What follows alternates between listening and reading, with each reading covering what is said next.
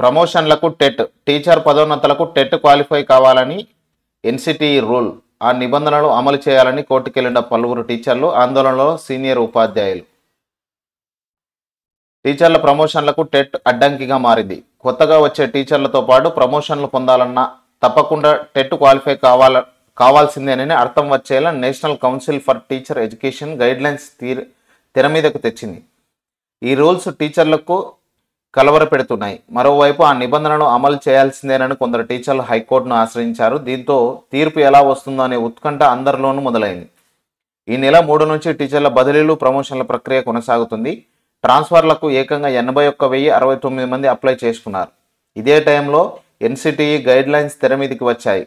విద్యా హక్కు చట్టం ప్రకారం కొత్తగా రిటైర్మెంట్ అయ్యే టీచర్లతో పాటు ప్రమోషన్లు పొందే టీచర్లకు టెట్ క్వాలిఫై కావాలని నిబంధనను అమలు చేయాలని కొందరు టీచర్లు కూడా డిమాండ్ చేస్తున్నారు. ఎన్సిటిఈ రూల్స్ను అమలు చేయాలని పలువురు హైకోర్టును కూడా ఆశ్రయించారు. దీంతో ప్రమోషన్ల కోసం ఏండ్ల నుంచి ఎదురు చూస్తున్న సీనియర్ టీచర్లలో ఆందోళన మొదలైంది. ఒకవేళ హైకోర్టు ఎన్సిటి రూల్స్ ఫాలో కావాలని తీర్పునిస్తే ప్రమోషన్ల కోసం సీనియారిటీ లిస్టులన్నీ మారే అవకాశం ఉంది. ఈ ప్రక్రియ కూడా ఆలస్యమయ్యే ఛాన్స్ ఉంది. సీనియర్లు దూరమయ్యే ఛాన్స్. రాష్ట్రంలో రెండు వేల పదిహేనులో టీచర్లకు బదిలీలు నిర్వహించి ప్రమోషన్లు ఇచ్చారు. రెండు వేల పద్దెనిమిదిలో కేవలం బదిలీలు మాత్రమే చేపట్టారు. తాజాగా ఈ ఏడాది బదిలీలు ప్రమోషన్లు చేపడుతున్నారు.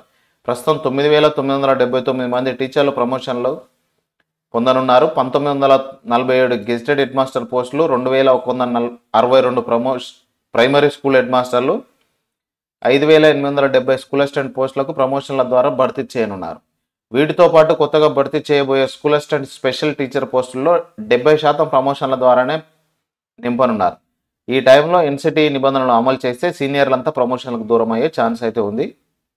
ఎందుకంటే వాళ్ళందరూ టెట్ రాయలేదు క్వాలిఫై కాలేదు. హెడ్ మాస్టర్ల బదిలీలు రెండు మూడు రోజులు లేట్. హెడ్ మాస్టర్ల బదిలీల ప్రక్రియ రెండు మూడు రోజులు ఆలస్యం కానుంది. టీచర్ల బదిలీలు ప్రమోషన్ల కోసం జనవరిలో ఇచ్చిన జీవో నెంబర్ ఐదులో పేర్కొన్న కట్ ఆఫ్ డేట్ తేదీని తాజాగా సెప్టెంబర్ ఒకటికి మార్చారు. అయితే గతంలో ఇచ్చిన జీవోకు సవరణ ఇవ్వలేదని కొందరు కోర్టును ఆశ్రయించారు. దీంతో ఈ నెల పద పన్నెండు పదమూడు తేదీలో జరగాల్సిన హెడ్ మాస్టర్ ట్రాన్స్ఫర్ల వెబ్ ఆప్షన్ల ప్రక్రియ ఆగిపోయింది. అయితే బుధవారం ఆ జీవోను సవరణ చేస్తూ ఉత్తర్వులు ఇచ్చారు.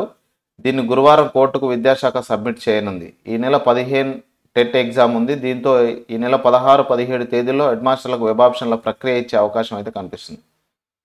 మొత్తమైన ప్రమోషన్లకు టెట్ క్వాలిఫై ఉండాలి అనేది ఇచ్చినటువంటి ఎన్సిటి నిబంధనల ప్ర దాన్ని తెరపైకి తీసుకురావడం జరిగింది. ఏం జరుగుతుందో చూడాలి.